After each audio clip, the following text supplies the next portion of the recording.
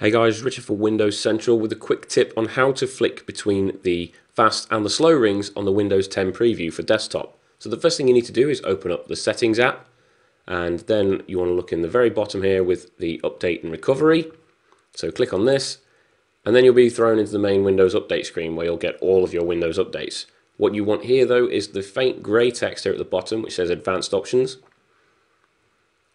and once you open this up you'll get a bunch of different options but all you need to do is scroll right down to the bottom to the section which talks about the Windows preview builds. This little drop down box at the bottom is what we want. Just click on it and you'll have options for either fast or slow at the moment. Choose the one you want and that's literally all there is to it. See ya!